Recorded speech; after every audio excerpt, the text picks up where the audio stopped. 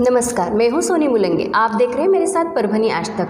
आज हमारे साथ एक खास शख्सियत है जो अ, 2019 में परभनी लोकसभा मतदार संघ से वंचित बहुजन आघाड़ी के टिकट पर ये लड़े थे और इन पे डेढ़ लाख लोगों ने विश्वास किया था। प्रकाश बाला साहेब अंबेडकर जी ने एक वेल एजुकेटेड चेहरा हमारे सामने लाया है जिनका नाम है आलमगीर खान जी।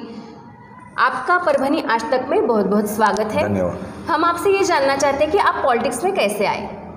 देखिए पॉलिटिक्स में तो मैं पहले से ही था और राजनीतिक एक पक्ष से मैं जुड़ा था। और परभनी में बाला साहब प्रकाश अंबेडकर को एक मुस्लिम चेहरा चाहिए था जिस तरह से वंचित बहुजन अघाड़ी ने सभी वर्ग के सभी समाज के लोगों को राजनीतिक भागीदारी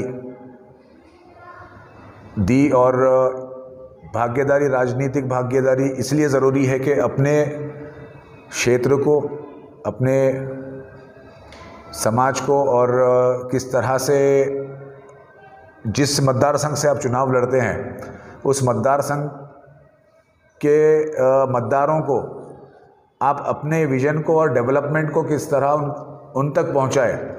ये देखते हुए बाड़ा साहब ने हर समाज से, हर जाति से उम्मीदवारों को महाराष्ट्र में 48 लोकसभा सीटों पर उम्मीदवार उतारे थे और जितने भी उम्मीदवार थे, सभी उम्मीदवार एक एजुकेटेड थे। उसी तरह परभनी से एक मुस्लिम चेहरे को बाड़ा साहब प्रकाश अंबेडकर जी ने दिया और मुझ पर एक विश्वास जताया क्योंकि मैं यहाँ पर सबके लिए नया था और जितने भी उम्मीदवार थे सब उम्मीदवार एक नया चेहरा और एक नई उमंग के साथ ये चुनाव 2019 का हमने लड़ा था। और जिसका महाराष्ट्र में परिणाम आया कि चौवालीस लाख वोट वंचित बहुजन बहुजन अघाड़ी के हक में जनता ने विश्वास जताया और इतना बड़ा वोट वंचित बहुजन अघाड़ी को दिया। तो यही एक चीज़ थी कि परभनी ज़िले को एक मुस्लिम चेहरा चाहिए था। और उसी तरह मुस्लिम चेहरे को तलाशने के लिए पार्टी के कई पदाधिकारी बहुत सारे उम्मीदवारों के पास गए, जहाँ पर बाड़ा साहब प्रकाश अंबेडकर के साथ जब मेरी पहली मुलाकात हुई तो पहली मुलाकात में ही बाड़ा साहब प्रकाश अंबेडकर ने मुझ पर विश्वास जताया और कहा कि आप परभनी मतदार संघ में वहाँ पर काम करिए और जो भी परिणाम आएगा वो परिणाम को बिना देखते हुए आपको ये मतदार संघ के लिए, ये मतदार संघ के नागरिकों के लिए काम करना होगा। और ये विश्वास जताते हुए मुझे यहाँ से टिकट दिया था और 2019 में जिस तरह से हमने अपना एक परफॉर्मेंस दिया, वो परफॉर्मेंस एक यहाँ पर रिकॉर्ड बिल्ड करता है। क्योंकि तीसरे पक्ष को इतना बड़ा वोटिंग कभी मिला नहीं है। आज़ादी से से जब से यहाँ पर चुनाव आते गए। तो ये मुद्दों को लेकर हम यहाँ पर जनता के बीच आए थे। जनता ने डेढ़ लाख वोट हमको दिया डेढ़ लाख वोटर्स ने हम पर विश्वास किया और तब से लेकर आज तक मैं यहाँ पर भनी मतदार संघ में जनता के लिए उनके जो भी समस्याएँ हैं उस पर आवाज़ उठाते हुए वंचित बहुजन अघाड़ी काम कर रही है। ने पॉलिटिक्स को चमकाने के लिए आपने परभनी जिला ही क्यों चुना है? परभनी ज़िला एक मराठवाड़ा विभाग का सबसे बैकवर्ड ज़िला माना जाता है। और आप देखते हैं कि परभनी ज़िले के बाद जितने ज़िले बने, वो ज़िले बहुत ज़्यादा आगे यहाँ से, परभनी ज़िले से आगे उनका डेवलपमेंट है। तो यहाँ पर परभनी ज़िले का एक माइनॉरिटी ज़िला समझा जाता है, जिसमें बहुत बड़ा वर्ग ओबीसी समाज का है, मुस्लिम समाज है एस सी समाज है। तो ये चीज़ को देखते हुए जिस तरह से यहाँ पर नाइंसाफ़ी की गई इस ज़िले को लेकर, और नाइंसाफ़ी ये राजनीतिक लोग ही यहाँ पर यहाँ के नागरिकों के साथ किया तो उस चीज़ को हम जनता तक पहुँचाना चाहते हैं और उनको बताना चाहते हैं कि जिस तरह से मैंने पहले भी कहा कि सरकार की बात करते हैं तो सरकार, कौन सी सरकार होती है? सरकार होती है जनता। जनता मालिक है, ये एक लोकतंत्र देश है। यहाँ पर संविधान से देश को चलाया जाता है, लेकिन आज का वातावरण, माहौल किस तरह का आप देखने में आ रहा है कि 2014 से अभी तक देश की स्थिति, आर्थिक स्थिति सिर्फ़ ना ही हमारे ज़िले की, बल्कि देश की आर्थिक स्थिति को बिल्कुल ही बर्बाद कर दिया गया है। तो उस चीज़ को हम जनता तक लेकर जाएँगे और ये आज जो सत्ता में बैठी हुई एक डिक्टेटरशिप की सरकार चलाई जा रही है, जहाँ पर मीडिया भी जो भूमिका निभाना चाहिए, वो मीडिया बिक चुका है। जो नेशनल मीडिया अगर आप कहो तो ज़्यादा से ज़्यादा 90 परसेंट मीडिया आज सत्ता में बैठे लोग की ही बात करता है। उनसे सवाल नहीं करता, बल्कि उनके जो कहे हुए बातों को ही उनके हाँ में हाँ मिलाता है। तो ये मीडिया का बहुत ही इम्पोर्टेंट रोल होता है कि आप सत्ता में बैठे सत्ताधारी लोगों से सवाल करें। तो ये चीज़ एक, हमको यहाँ पर एक बहुत बड़ी लड़ाई लड़नी है और जिस तरह का आपका बैकग्राउंड चाहिए कि आपको बिल्कुल ही क्लीन भ्रष्टाचार से मुक्त एक उम्मीदवार चाहिए जो इनसे मुकाबला कर सके। वरना आपने हाल देख लिया, महाराष्ट्र राज्य में क्या हुआ? महाविकास अघाड़ी बनी तब से लेकर अभी तक बीजेपी और उनकी ही चलती आई। भाई, विकास कहाँ गया? महाराष्ट्र राज्य का। यही तो चीज़ है ना। आप, ये बात तो ये बताइए कि जो जनता ने विश्वास जताया था, शिवसेना के आमदारों को चुनकर भेजा। ये आमदार अपने एक व्यक्तिगत उस पर, अपने बल पर छः से सात आमदार चुनकर आ सकते होंगे, लेकिन ज़्यादा से ज़्यादा आमदार अपने पार्टी के लेवल पर चुनकर आए हैं। और इस तरह का जो विस्तार की बात की जा रही है, विस्तार से अब रहे दो साल बाकी। अब दो साल में आप क्या यहाँ पर रंग दिखाएँगे? आप कितनी भी बड़ी कैबिनेट क्यों ना बना ले आप?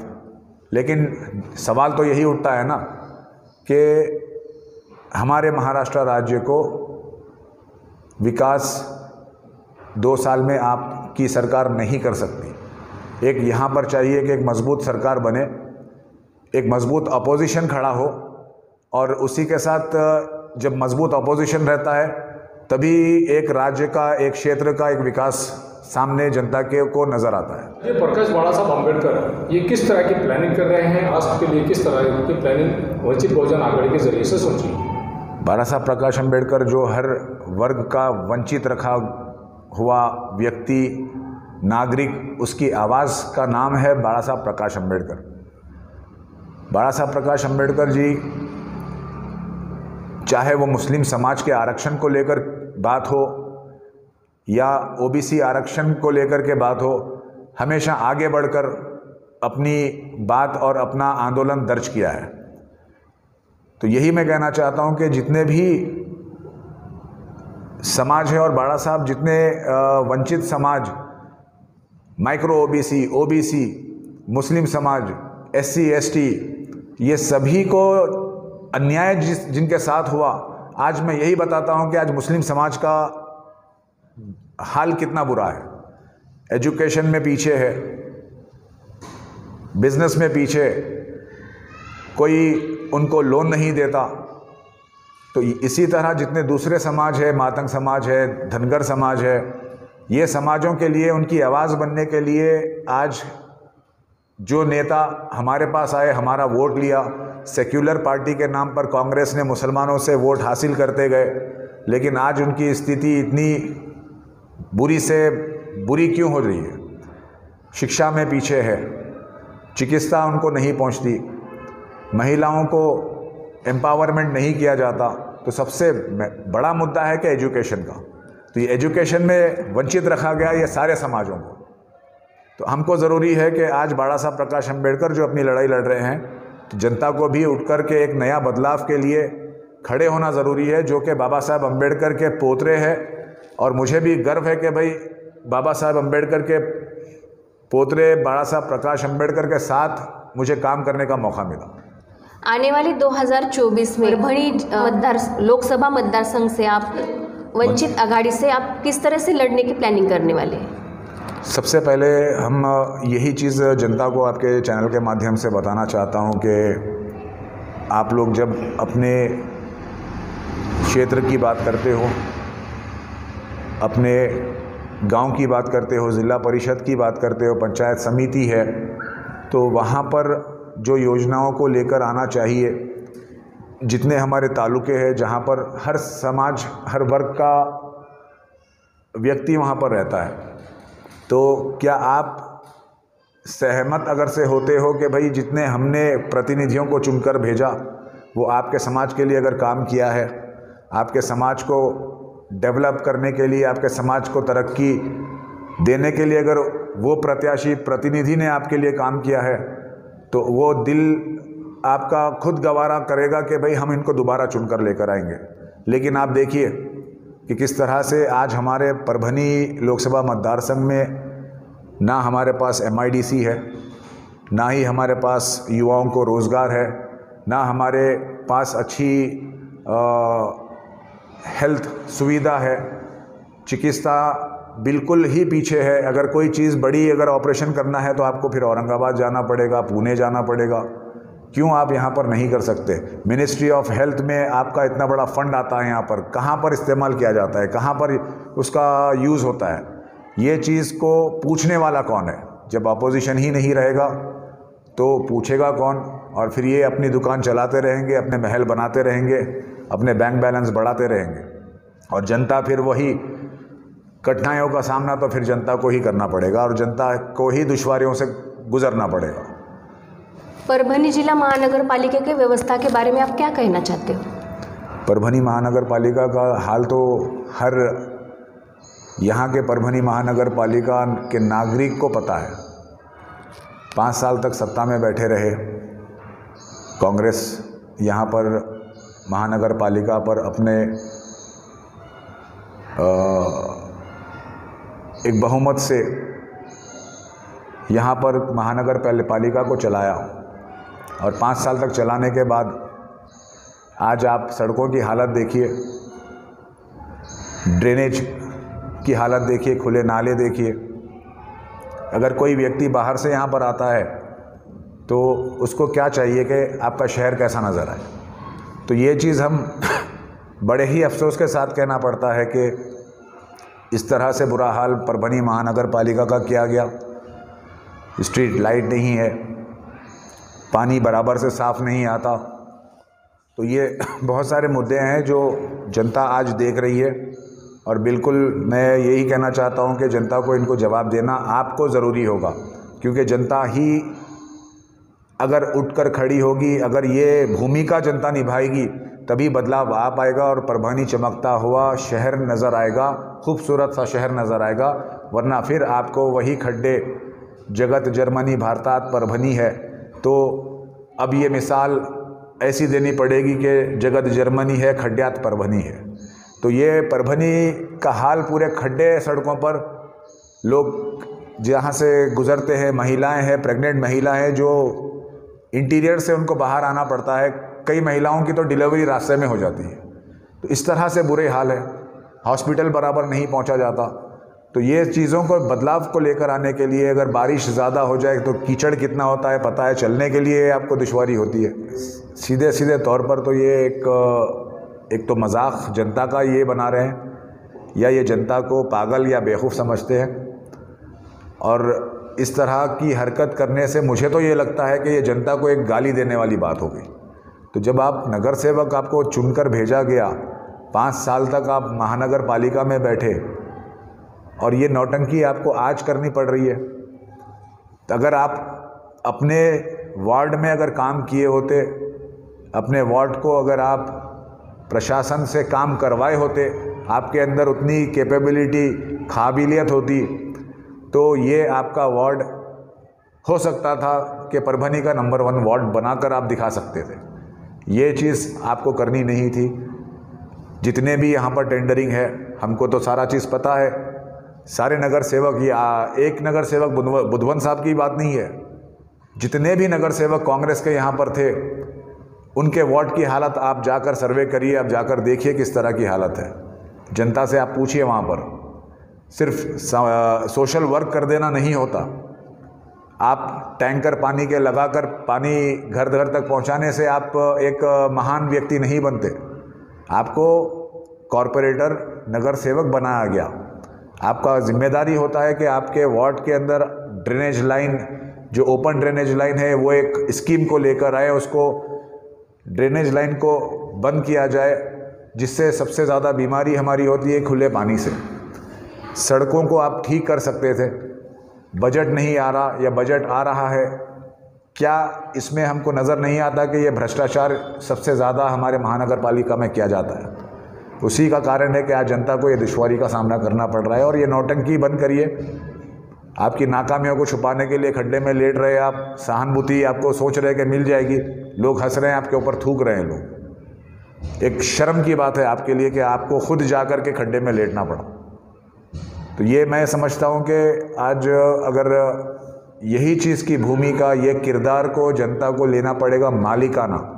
मालिक का हक जनता को उठाना पड़ेगा। और यही मैं बात कहना चाहता हूँ कि जनता अगर से मालिक है तो ये नौकर सेवक उनको पकड़िए पूछिए कि भाई क्या चोरी की तुमने। शिवसेना को आज तक सपोर्ट नहीं मिला। इसकी वजह से परभनी की डेवलपमेंट रुके वाली है। अगर आप बहुजन वंचित आघाड़ी से चुन के आओगे तो आप इसके विकास के लिए आप क्या करोगे? अगर आपको भी ऐसा सपोर्ट नहीं मिला तो आप कुछ कर पाओगे या नहीं? यहाँ पर सपोर्ट से काम नहीं होता है। काम होता है संविधान से काम होता है नॉलेज से, यानी कि जानकारी से। यहाँ जितने नगर सेवक हैं, उनको दस टक्के की जानकारी नहीं है कि प्रशासन को किस तरह से काम करवाया जाए। अगर जानकारी है तो फिर जनता को नहीं बताते तो सीधा सीधा हम ये कह सकते हैं कि वो सारे भ्रष्टाचारी है। अपना जेब भरना है उनको, चुनाव आया, मैंने दस लाख रुपए खर्चा किया या इतना किया, मुझे पचास लाख, पाँच साल में निकालना है कोटी बनाना है, ये फ़िक्र उनकी है। ये फ़िक्र नहीं है कि हम हमारे क्षेत्र को डेवलप किस तरह से करें। तो सपोर्ट की बात यहाँ पर नहीं होती है। आपको, आपके अंदर विजन चाहिए। अगर प्रतिनिधि आपका विजनरी है, आपके वार्ड को एक नंबर वन वार्ड बनाना चाहता है तो वो लड़ेगा। प्रशासन से जिस टाइम पर आप चुन कर गए, उस टाइम पर अगर आप खड्डे में लेटते, उस टाइम पर आप प्रशासन को झिझोड़ते, उनको लेकर आकर काम करवाते तो हम मानते आपको और सल्यूट करते हैं। लेकिन ये पाँच साल का पूरा मज़ा उठाने के बाद, मलाई खाने के बाद, जब आपका कार्यकाल ख़त्म हुआ तो आपको याद आ गया अभी। पब्लिक की सहानुभूति लेने के लिए चले गए आप लोग। तो मैंने समझता हूँ कि भाई आपको किसी की सपोर्ट की ज़रूरत है। अब पक्ष भी अगर से नगर सेवक या आमदार या खासदार चुन कर आता है तो वो काम करवा कर दिखा सकता है। सरकार क्या होती है? सरकार जनता है, जनता टैक्स पेयर मनी है जो अपने जेब से टैक्स देती है। वही टैक्स कहाँ पर लगता है? इंफ्रास्ट्रक्चर पर लगता है। इंफ्रास्ट्रक्चर यानी कि आपके शहर के सड़कें, शहर के फ्लाईओवर ब्रिज सुविधाएँ स्ट्रीट लाइट्स ये सारे चीज़ें आज परभनी में क्या हमको दिखती है? क्या परभनी के नागरिक अपनी जेब से सरकार को टैक्स नहीं देते? क्या हाउस टैक्स नहीं देते? या आप छोटा सा आज अनाज भी खरीदते हो तो अभी आपको टैक्स देना है, तभी तो जीएसटी की बात आ गई। यहाँ पर तो स्टूडेंट्स को पेंसिल खरीदने पर भी टैक्स लग रहा है अभी। परभनी ज़िले में जिस तरह से भ्रष्टाचार बढ़ा है, उसको कम करने के बारे में आप कैसे सोच सोचोगे क्या करोगे उसके लिए? कम करने के लिए आपको, हमको, हमारे उम्मीदवारों को एक बार मौका देना चाहिए। हमको आजमाना चाहिए आपको। जब आप हमको अपना रिप्रेजेंटेटिव बनाओगे, क्योंकि अभी तक आप दूसरे पक्ष को अपना रिप्रेजेंटेटिव बनाते हैं और उनको देखा आपने तो हम ये आप जनता से गुजारिश करते हैं जनता से हमारा एक निवेदन यही है कि आप इस बार इस तरह के प्रतिनिधियों को आप चुनकर भेजें, जो महानगर पालिका के बारे में जानकारी रखते हैं, जिनको आपका दर्द महसूस होता है, जो अधिकारियों को काम करवाने के लिए खड़े हो, प्रशासन को रोड पर लेकर आए और जनता के डेवलपमेंट के लिए, जनता के बीच 24 घंटे अवेलेबल रहे, उपलब्ध रहें। तो इस तरह के अगर आप, अगर से हमको मौका देते हैं तो ये चीज़ हम तभी कर पाएँगे जब हम महानगर पालिका में पहुँचेंगे। और आप जनता से ही ये उम्मीद है कि वंचित बहुजन अघाड़ी को आप मौका दीजिए। और पाँच साल में हम, हमारे जितने वार्ड में प्रतिनिधि चुनकर जाएँगे सभी वार्डों पर एक नंबर का वार्ड बनाकर दिखाने की कोशिश और उसको कामयाब करने के लिए वंचित बहुजन अघाड़ी बहुत ही ज़ोर और शोर से काम करेगी और प्रशासन को सोने नहीं देगी, भ्रष्टाचार को बर्दाश्त नहीं करेगी। कोई हमारा उम्मीदवार भ्रष्टाचार नहीं बर्दाश्त करेगा और जो जनता का पैसा है, जनता के सुविधाओं को, सुविधाओं के लिए इस्तेमाल किया जाएगा। आप यहाँ के फ़ार्मिंग के बारे में और इंडस्ट्रीज़ के बारे में क्या कहना चाहते हो? परभनी ज़िला एक शेतकरी का बहुत ही बड़ा एक बेल्ट है। उस तोड़ कामगार यहाँ पर काम करता है, गन्ने का खेती होता है, उसकी खेती है। तो यहाँ पर ये चाहिए कि आपको फार्म फार्म फ़ार्मिंग सेक्टर यानी कि शेतकरी के ये जो योजनाएँ हैं कि आज हमारे किसान तक यहाँ पर पहुँच पा रहे हैं या नहीं पहुँच पा रहे हैं? ये भी काम किसका होता है? केंद्र योजना है, राज्य योजना है। तो ये सारे योजनाओं को लेकर आना, किसान तक वो पहुंचाना, उनके लोन माफ़ करवाना, ये ज़िम्मेदारी होती है एक सरकार की और यहाँ के आपके एक प्रतिनिधि की, चाहे वो आमदार हो या खासदार हो। तो ये चीज़ को डेवलपमेंट करने के लिए हमको क्या चाहिए? तो यहाँ पर हमको चाहिए कि इकोनॉमी कंडीशन ज़िले का कैसे बढ़े।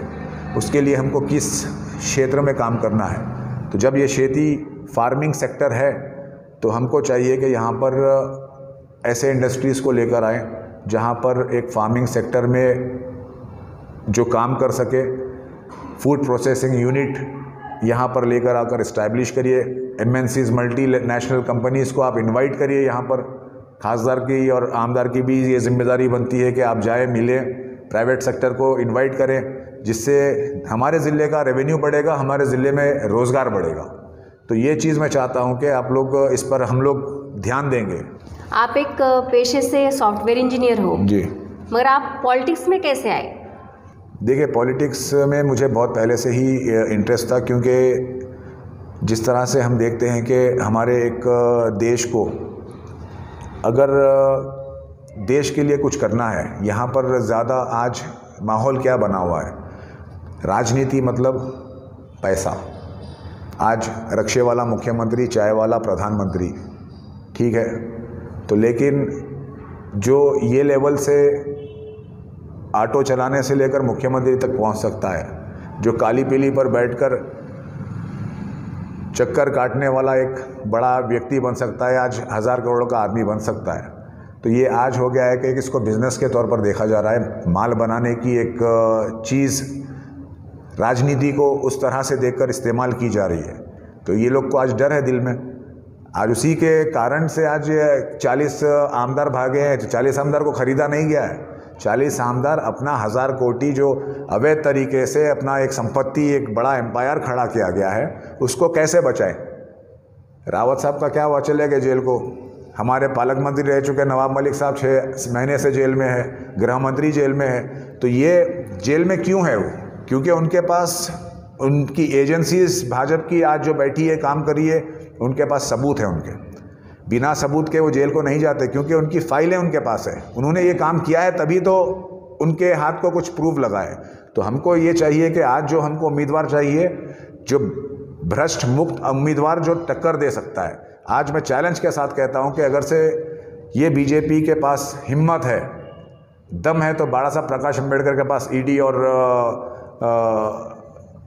सीबीआई या जो भी आपके मशीनरीज आप रेड करवा कर दिखा दें। ये चैलेंज है भाजपा सरकार को। नहीं करवा सकते क्योंकि बाड़ा साहब प्रकाश अंबेडकर एक स्वाभिमानी नेता है और उन्होंने हमेशा जनता के लिए खड़ा होकर के, जनता की आवाज़ बन कर के काम किया। अगर से उनको यही पॉलिटिक्स में कमाना होता, पैसा होता तो मैं दावे के साथ कहता हूँ कि आज शरद पवार से बड़ा आदमी राजनीति में होता तो वो प्रकाश अंबेडकर होते। तो ये थे आलमगीर खान जी जो पेशे से सॉफ्टवेयर इंजीनियर है।